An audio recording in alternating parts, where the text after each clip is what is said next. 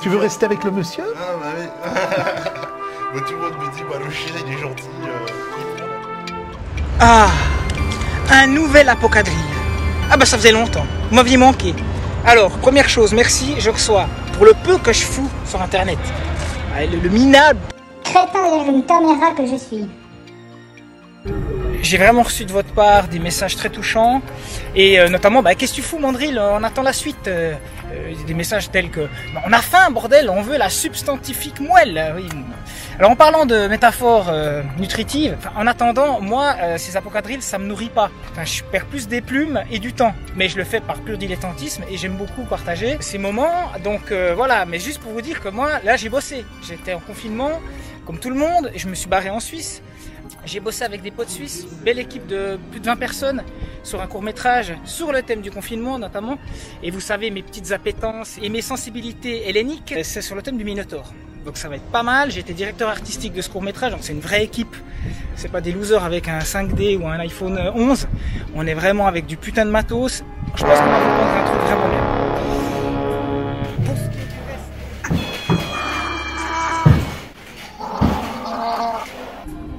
Pour ce qui est du reste, euh, j'ai travaillé énormément sur euh, la thématique de l'occultisme, euh, notamment sur la figure du golem.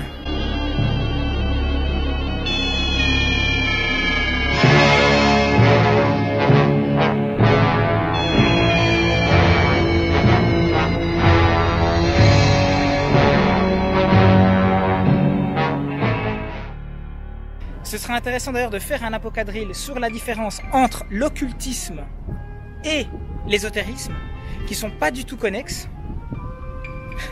Je veux pas revenir toujours à Guénon, mais il a très très bien théorisé ceci. Faut s'imaginer que quand lui débarque à 20 ans dans le Paris de la belle époque, euh, où le bobo parisien, euh, dans les prémices de la hipsterisation qui euh, opérera 100 ans plus tard, était enclin aux tables tournantes et puis à une certaine forme de dégénérescence assez avancée. Donc euh, il est très important euh, de, de replacer aussi cette différence entre l'ésotérisme et l'occultisme. Pour cela, je renvoie à l'auteur David Bisson, qui donne déjà pas mal de clés pour faire vos investigations. Et Guénon va participer d'ailleurs à différencier les deux termes, l'ésotérisme de l'occultisme, parce que là nous sommes bien évidemment de plein pied dans l'occultisme. Et l'occultisme c'est quoi? C'est la volonté de concilier le progrès et la religion, la foi dans le progrès avec l'imaginaire des religions, avec cette idée que plus on avance dans le progrès, plus va se dévoiler le sens véritable des religions. Or, Guénon, presque de façon instinctive, va s'élever contre cela, puisque lui, c'est l'inverse qu'il pense. C'est-à-dire que plus on avance dans la modernité, moins on a possibilité d'avoir accès aux grandes traditions religieuses. Il y a un obscurcissement progressif au Voilà. fond- fond de la un- pensée euh, en Occident. Et alors là, on, on peut dire qu'il a une pensée même traditionnaliste au sens euh, fondamental du terme. Alors, il a une pensée tout à fait. Alors, il faut revenir peut-être sur ce fameux terme qu'utilise de façon récurrente René Guénon sans jamais l'expliquer précisément, qui est celui de tradition. C'est-à-dire que la tradition écrite avec un T majuscule, ou encore dénommée tradition primordiale dans son vocabulaire, est le concept absolument central, majeur de toute sa pensée. Euh, Il y a un épisode de Pocadrille à faire sur euh, la mystique et la cabale juive. C'est très drôle de voir que la synagogue, souvenez-vous, dans les portails des cathédrales gothiques, on a souvent l'allégorie de la synagogue, synagoga, qui a les yeux bandés, et ecclesia, qui, elle, euh, contemple le tympan ou contemple la figure christique. Donc effectivement, on pourrait y voir déjà, d'une certaine façon, la vérité, elle est une, la vérité, elle est unique, elle est belle, ça c'est Platon, mais elle est surtout sans concession. Et c'est vrai que la synagogue a tendance, en tout cas, le mythe du golem euh, du rabbin de Prague, ah, on sent qu'il y a quand même une petite euh, appétence déjà à vouloir contrôler les choses. Ce qui est d'une certaine façon satanique. Je ne dirais pas plus parce que c'est un terrain très périlleux, mais c'est très intéressant de voir que Effectivement, l'ésotérisme ne doit pas s'encrasser de pratiques occultes, de pratiques hétéroclites, syncrétiques. Il faut laisser les maçons, certains rose-croix, faire ce bordel. Nous, on n'en est pas là. On est une génération qui devons décanter, on doit enlever, on doit purifier, on ne doit pas rajouter au principe encore plus de merde. Ça, c'est ma version. C'est pas comme ça qu'on opère dans une C'est la discipline période spirituelle. pendant laquelle aussi il forge ses premières armes intellectuelles et il se découvre une personnalité gnostique, c'est-à-dire une personnalité en quête d'une connaissance universelle, avec cette certitude propre au gnostique qu'il serait possible d'accéder à Dieu à travers la connaissance. Et, et l'initiation, donc. euh, Et alors l'initiation va venir après, c'était une thématique qu'il va travailler à partir des années 30. D'accord, donc Lorsqu'il sera- c'est- c'est la connaissance. Donc c'est par l'intellect, par la, la, réflexion euh, qu'on va pouvoir atteindre une forme de, libération ou de salut. Ce qui rejoint un peu l'Orient d'ailleurs déjà comme idée. Ce qui rejoint un peu l'Orient. Et si on pouvait faire dresser une typologie des figures spirituelles, on classerait évidemment René Guénon dans le type gnostique, c'est-à-dire le type de spirituel qui est en recherche de Dieu à travers la connaissance, ou plus précisément pourrait-on dire à travers un processus gradué de connaissance qui débouche sur l'extinction de la connaissance elle-même.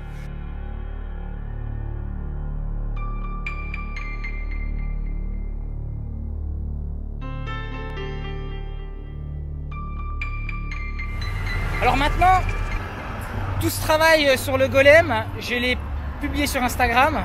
Vous pouvez le retrouver. euh, Il y a un travail de papier, il y a un travail de, de- sérigraphie aussi qui est là derrière.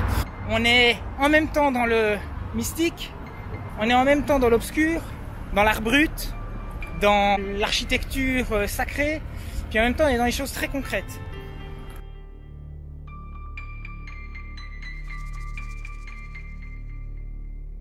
Alors pour ceux qui me suivent, ils savent déjà que j'aime bien insuffler dans mes productions des prémices de symbolisme. Euh, J'essaie de placer quelques petites étincelles de conscience, des petits jalons de conscience, comme dirait l'autre. Sur le thème du golem, c'est clair, mais par exemple, j'ai récemment aussi mis à jour un projet qui date d'il y a un an, qui était le projet de l'œuf que j'avais fait pour les 40 ans de la zone piétonne de la ville de Neuchâtel. Donc pourquoi je vous parle de ça? Parce que la thématique de l'œuf en alchimie, c'est une thématique fondamentale. Alors ça renvoie forcément à l'unus mundus et ça renvoie à plein d'autres pistes dans l'alchimie sur le thème, notamment en cosmologie, de l'œuf unique du chaos originel. Ça renvoie à l'Égypte. Et en fait, si tu analyses bien, l'œuf, il est partout présent parce qu'il est dans le désert, tu as quand même des vipères qui pondent des œufs, et il est dans le Grand Nord, euh, il y a toujours des manchots qui pondent des œufs. Donc partout, il y a des œufs. Et ça, c'est intéressant. Alors, je fais une petite parenthèse de qu'est-ce que c'est l'univers d'un plasticien ou d'un branleur d'art visuel que je suis, que j'assume, quand tu as des gros mandats. En fait, tu les as pas au début. Genre, t'as le service culturel qui vient vers toi et qui fait Ouais, ben, Drill, tu connais pas mal de monde. euh, Qui c'est que tu verrais euh, pour les 40 ans de la zone piétonne? Là, on aimerait faire venir un artiste, on a pas mal de budget. Enfin, pas mal de budget, ouais, c'est pas mal. Mais bon, euh, avec 80 000 francs suisses, tu fais pas grand chose au final. Quand tu commences à faire dans le dans l'espace public, tu vois, niveau sécurité, niveau machin. Mais moi, j'ai fait Mais les gars, on a la place rouge, on est au bord du lac, on a un truc incroyable. Regarde dans ces crétins de là. Ils ont cette scène de mer, tu peux même pas te baigner dedans.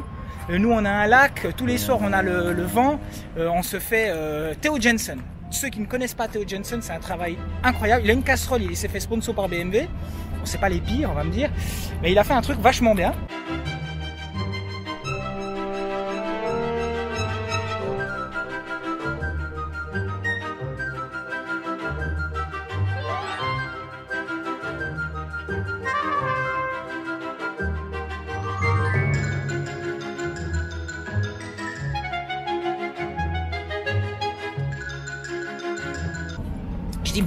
Jensen et puis foutez ces sculptures cinétiques au bord de la plage. Ouais, non, c'est pas bien. Le problème avec ça, c'est que euh, les gens les veulent en ville. Bah oui, forcément, le tissu commercial euh, moribond est quasiment exsangue de clients parce que tout le monde va se casser dans les gros malls dégueulasses. Et ben, il faut les faire venir. Donc, il faut des œuvres qui fassent venir du monde. Alors, j'ai pensé à Arndt Kins. Ce mec qui a fait des trucs incroyables. Moi, j'ai découvert ce travail à Bruxelles. J'étais là, mais c'est, lui qu'il faut faire venir. Alors, il a proposé. Ils c'était un concours international. Puis deux semaines avant la deadline, bah, figurez-vous que le conseiller culturel me fait, ouais, mais Mandry, tu voudrais pas proposer quelque chose? S'il te plaît? Alors, moi, je fais, ouais, bah, ouais, bien sûr, c'est à fond. Alors, euh, j'ai proposé l'œuf. Alors pourquoi je vous parle de ça? Parce qu'au final, euh, on va dire, ouais, tu nous fais de nouveau du, du narcisse sur pattes. Non.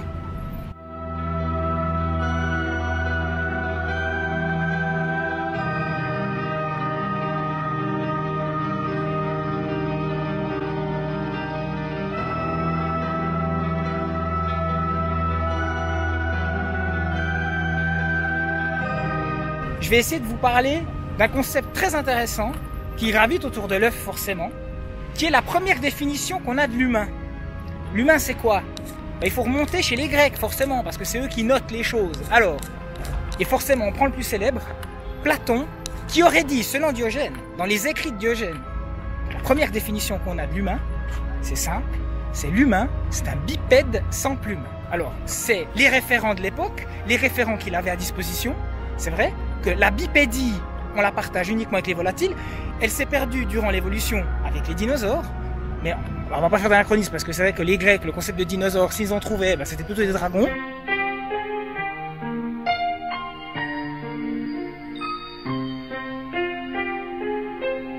C'est assez intéressant de se dire que bipède sans plume.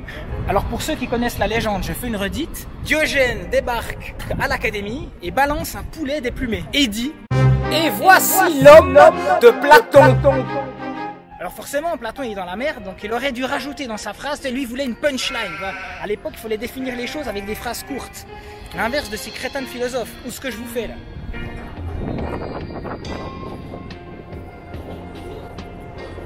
Alors sa phrase courte du bipède sans plume, il doit rajouter et à ongle plat. Comme ça, il élimine toutes les griffes des volatiles. Et alors la phrase qui est vraiment de trop, c'est et sans cornes. Parce qu'effectivement, il aurait pu avoir un satyre qui débarque au milieu de l'académie de Platon, au milieu de l'aéropage, et puis qui dit euh, ouais bah voilà, je suis un humain. Où là on voit que c'est un joke de Diogène et que c'est impossible que Platon ait dit une telle connerie. Cette petite anecdote philosophique m'a fait penser que si tu dois parler d'un quarantième d'une zone piétonne, ben la bipédie, on la partage avec les volatiles. Alors autant jouer sur ce concept des oiseaux. Puis après, ben, il faut bien produire une œuvre. Il faut bien produire un truc bizarre. Il faut bien aller chercher dans l'inconscient. Il faut bien aller chercher dans le, dans le cloud du chaos et créer quelque chose. Donc l'idée, c'est de faire un objet qui est composé de lui-même, mais à un autre stade de son ontologie. Par exemple, tu fais un arbre qui serait composé uniquement de sa propre graine, de ses propres graines. Alors moi j'ai joué sur l'œuf composé d'oiseaux. J'ai fait un œuf uniquement d'oiseaux. Alors ça fait un bordel monstre parce que j'ai les écolos et les gauchos qui ont gueulé parce que c'était euh, du plastique. Mais bon, je vais te dire, j'ai quand même dû placer euh, un objet sur une tour du patrimoine de ma ville. J'avais interdiction de percer la pierre, donc j'ai dû trouver des moyens techniques euh, et faire appel et aller taper dans l'ingénierie pour foutre une œuvre d'art d'une tonne sur, une, euh, sur une tour euh, classée patrimoine. Quoi. Alors voilà, je fais un lien avec Instagram parce que toute cette rétrospective, un an après, eh ben, je l'ai enfin sortie.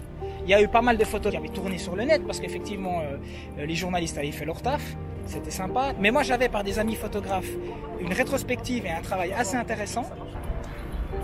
Donc il y, a, toute cette rétrospective que vous pouvez trouver sur Instagram. Je suis assez content, c'est assez spécial. Un an après, Tempus Fugit, les choses défilent. C'est un vieux projet pour moi maintenant. Mais voilà, j'étais content de l'avoir répertorié, puis vous pouvez trouver ça facilement. Euh, bon là, ça fait euh, 10 minutes que je parle de ma gueule. Et je vais un peu parler des autres. Parce que pendant ce confinement, j'ai fait des découvertes de malades. Vraiment. Greg Toussaint, Barbare Civilisé et La Cartouche. Et ces trois personnes ont parlé de la modernité, euh, des errances et surtout du hip-hop et du rap. Le rap. Le rap. Le rap. Putain, le rap. Alors je fais pas ça pour critiquer gratuitement la culture hip-hop euh, en tirant sur les ambulances quoi. Euh, j'y ai bouffé, j'ai participé, j'ai assez fait de street art, de foire, euh, euh, de, de- j'ai assez moi-même foutu de merde et de référents à cette culture dans les premières périodes de mon travail.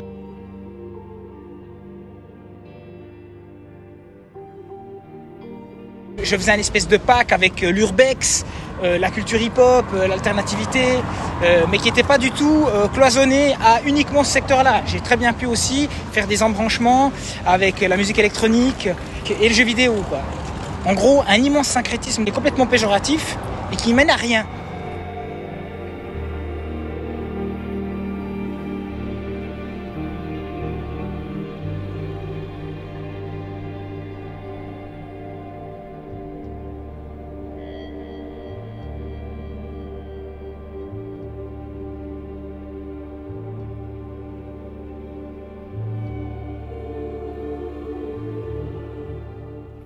Pas un grand je suis pas un grand consommateur de hip-hop. Au contraire, j'en ai écouté, mais là c'est fini. C'est vraiment définitivement. Et même les trucs old school, je peux même plus. Il y a peut-être une période où j'étais encore en vieux réac du hip-hop à écouter l'ancien, c'était mieux avant, et là même plus. En fait, il y a un, stade où ça a switché et ontologiquement, je ne peux plus. Ce qui se passe à l'heure actuelle, quand je vois, là, ça fait maintenant euh, un kilomètre que je marche et que j'ai vu des petits jeunes avec leur Bose là, à fond en Bluetooth, qui écoutent, je sais pas si on peut appeler ça de la musique, euh, je me dis que, indépendamment des critiques que j'ai vues super intéressantes et sagaces de Greg Toussaint ou de la cartouche, glorification de la paresse, de la violence, Une bécane, une cagoule, une mea, on est paré pour des fourrailles. du matérialisme, Pour faire du bif, de la moula, du caramel. destruction du discours, atrophie de l'intelligence, on peut pas se développer sainement en écoutant ça de manière continue. C'est pas possible.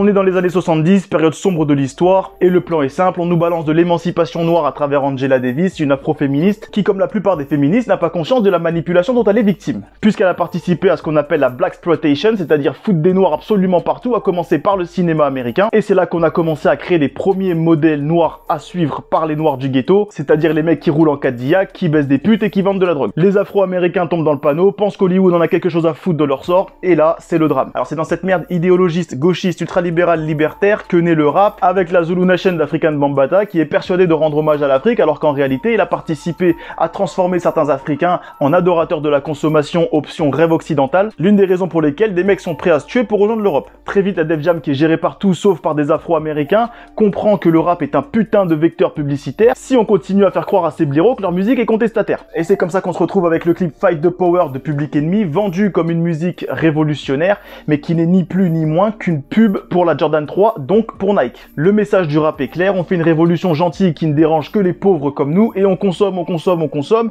pour ne plus ressembler aux pauvres comme nous. Dans les années 80, on a le rap français qui émerge en même temps qu'SOS Racisme. Le hasard, je ne pense pas. je vais aller sur un autre plan, un petit peu plus piquant, un petit peu plus caustique. Je vais pas me faire des amis avec une vidéo comme ça. Je l'assume. De toute façon, j'en suis pas à ça près. Enfin, je pense qu'il est bon. Et à ce stade, on ne peut même plus dire placer l'église, mais bâtir ou rebâtir l'église au centre euh, de la cité. Attention, immersion dans la musicologie. C'est parti.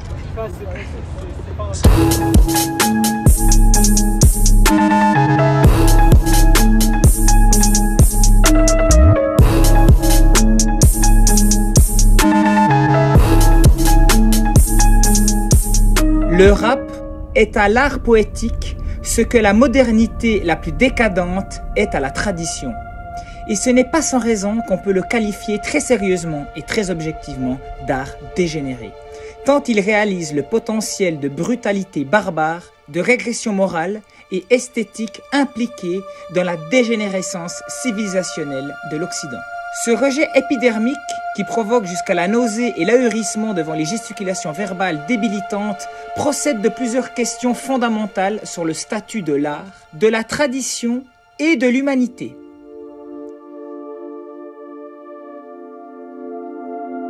Parmi les nouvelles pratiques artistiques, le rap est sans doute celle qui fait le plus honte à l'esprit traditionnel européen. C'est d'abord une pratique américaine d'importation et d'impérialisme culturel sous la forme la moins civilisatrice. Si la barbarie a souvent été évoquée par divers polémistes traitant des quartiers sensibles, ce n'est pas tant par la rencontre des parents travailleurs de ces zones, mais en référence à la musique qu'écoutent leurs enfants sur Skyrock ou maintenant sur Internet. C'est un art de crâne vide, des petites frappes qui se prennent pour des grosses caïras en martelant des mauvaises rimes, avec un ton de fausse virilité, un mauvais ton. Pas de musique, des paroles indigentes, soit violentes, soit démagogiques. Niveau mélodie, zéro. Bref, une véritable régression culturelle. Ce n'est pas de la virulence politique ou sociale pensée. C'est de la brutalité, de la violence barbare faite son. Plus grave, le rap n'est qu'une fausse musique produite par des sous-hommes en mal de virilité, qui jouent à être hommes qu'ils ne sont pas et qu'ils ne seront jamais. Le rappeur et l'amateur de rap se caractérisent non certes par leur rapport à l'art, puisque ce ne saurait en être, mais par une crise profonde de l'identité masculine. Musique ou poésie Ni l'une ni l'autre. C'est une parodie de la musique, du non-art, l'art du sous-homme. C'est de la sous-humanité en fait c'est le sous-homme qui, ayant pris conscience de son absence de virilité, ou vertu, virtus, réelle, la compense par le flot décérébré, dénué de sens, d'intelligence et de lyrisme véritable, dans la mise en scène avilissante d'une virilité fictive et surjouée de la manière la plus grossière possible.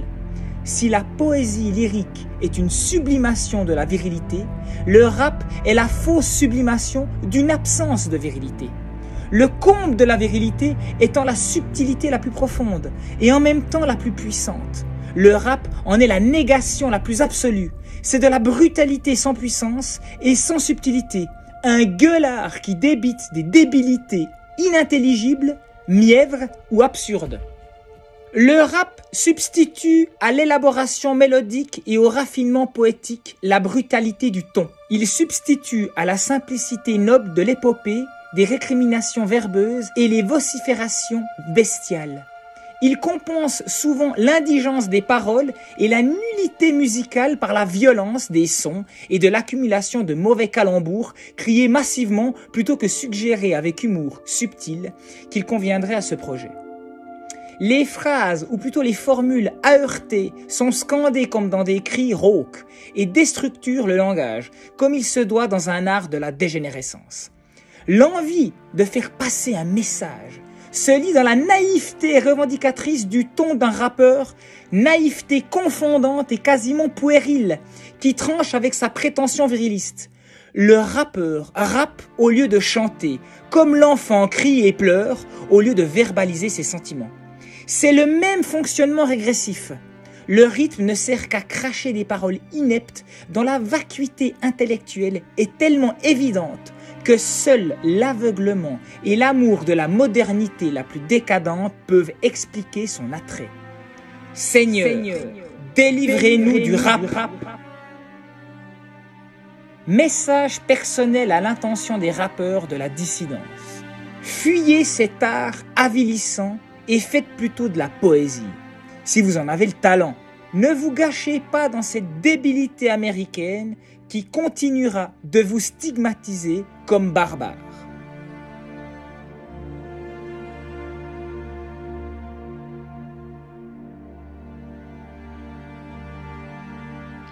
Alors, je vous vois arriver.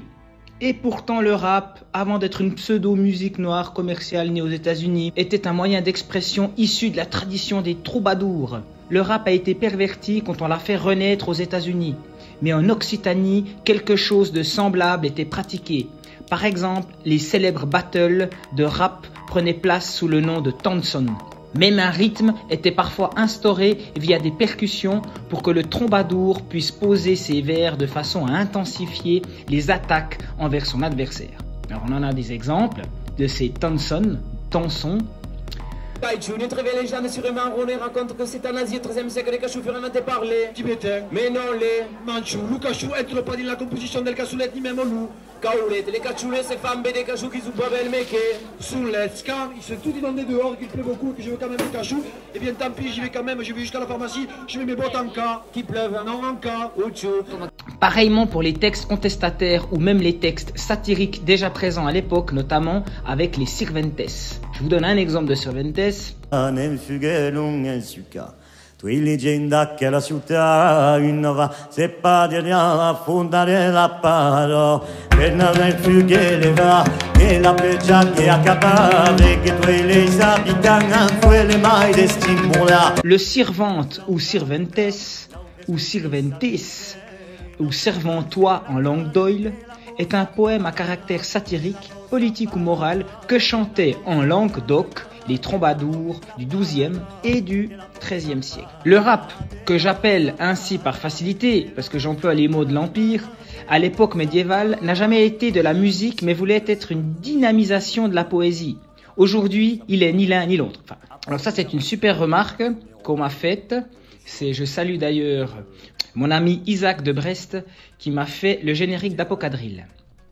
Alors, en parlant de potes, on a tous un pote rappeur dissident qui te dit un truc du genre.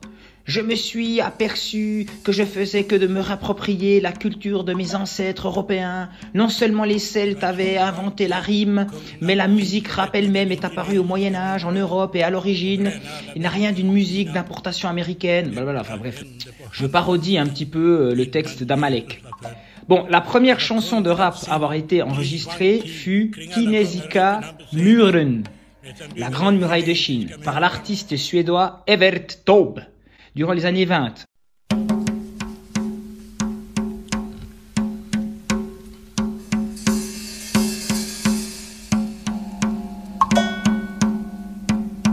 Det var Qi Huangti, kung av Xin, som lät bygga den kinesiska muren och bränna alla böcker i Kina. Detta hände på Hannibals tid, innan Jesus var född. Det var kungen av Xin, Qi Huangti, kring alla kungariken han besegrat, lät han bygga den kinesiska muren. Muren Alors effectivement, la musique rap serait née dans les pubs écossais du Moyen Âge, enfin les tavernes. Les battles de rap durant lesquels deux MC s'affrontent en insultes élaborées, en rythme, proviennent de l'ancien art calédonien du flighting. Voilà des Britanniques bien enracinés, s'adonnant au flighting. Alright, your face is about to be rocked, and the person who will be supplying it is named Brock. Bitch, I fought Brock. He wasn't so tough. I beat his ass down with chicken puff. Okay, go whenever you're ready. Swallowed me like a Yoshi. Your rhymes are so bland. I had to come over there and smack you with my master hands. Compared to me, you're a mess. At best, you're the Lucas to my Ness.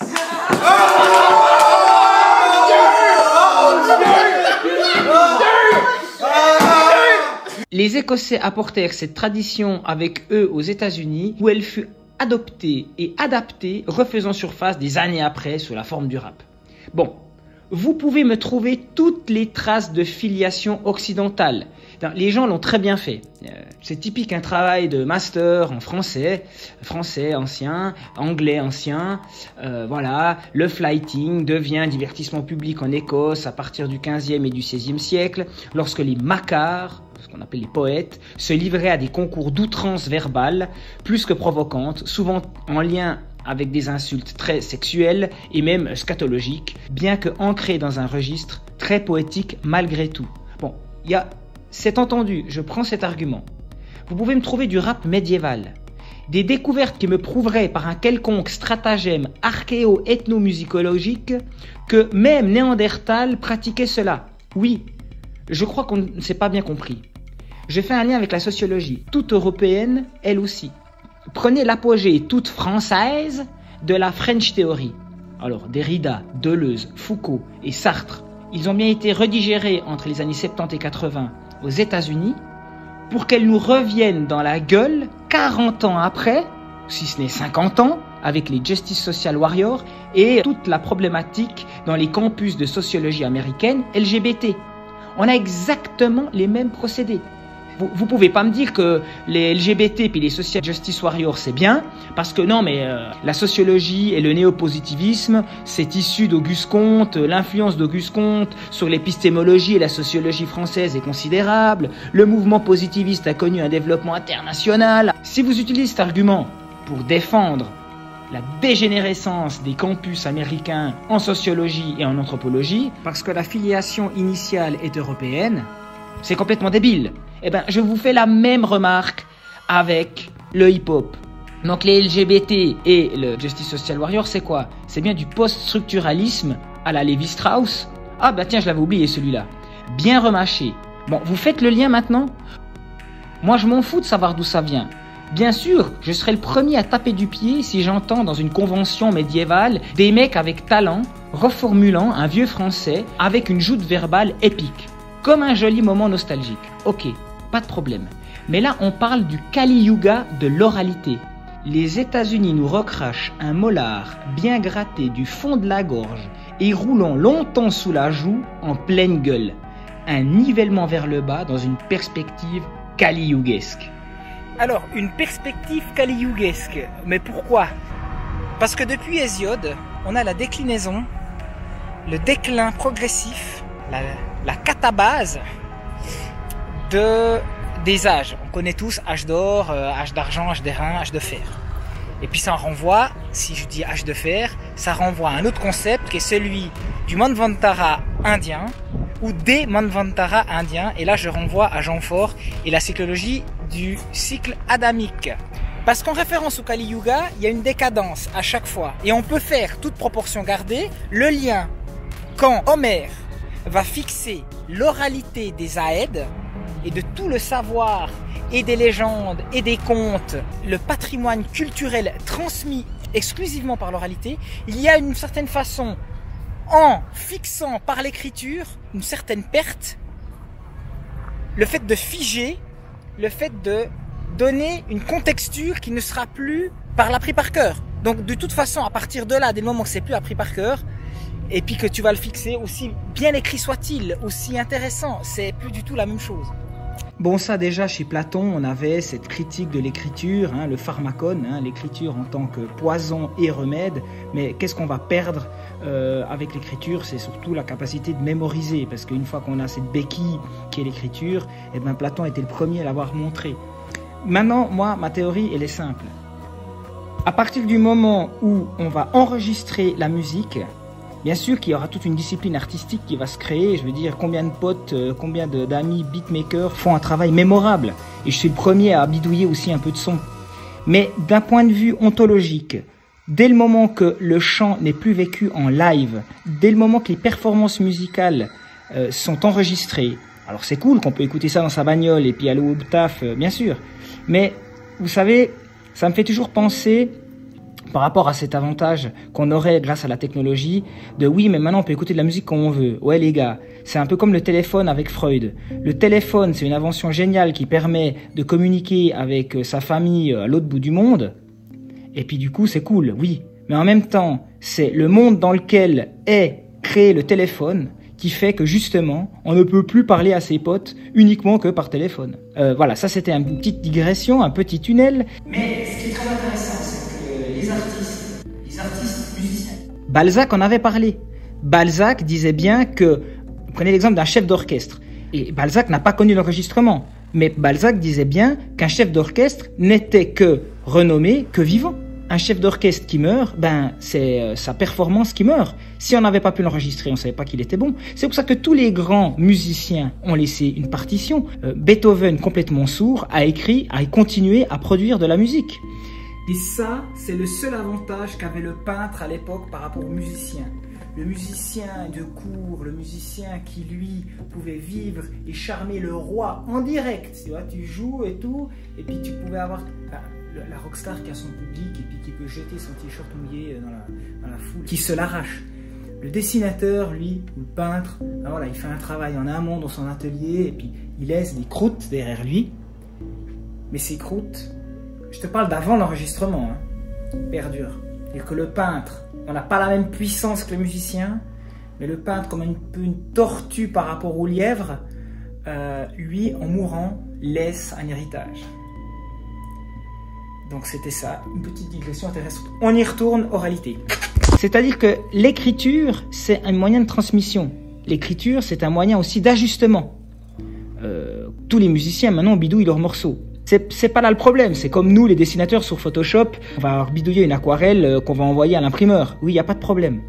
Mais la déformation totale de la mélodie avec les programmes comme Autotune reste pour moi quand même un sacré exemple de la faiblesse musicale que l'Occident a dans cette phase terminale de son évolution.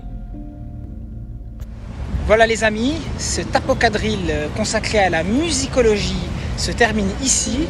Puis bon, bah, vous connaissez la formule. Hein.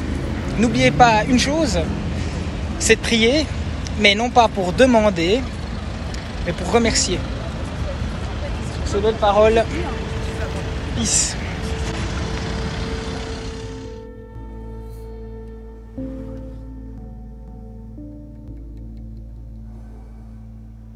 Une société de Transformant. L'homme est un être qui produit en permanence des organes nouveaux, donc qui, oui, se transforme effectivement. Pourquoi? Parce que les organes qu'il a déjà produits provo- provoquent des effets pervers. Donc il est obligé, pour lutter contre ces effets pervers, de produire de nouveaux organes qui vont venir compenser les effets pervers, mais qui vont créer d'autres effets pervers. C'est très très bien décrit ça par Sigmund Freud dans un texte qui s'appelle Malaise dans la culture.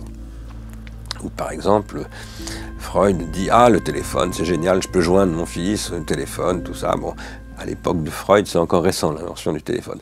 Ah oui, mais en même temps, c'est parce qu'il y a le téléphone qu'il est parti et qu'on est séparés, etc. Donc voilà, Freud montre que, en fait, c'est les, les organes euh, que j'appelle exosomatiques, les organes artificiels, en fait, ont toujours un double côté. Une double...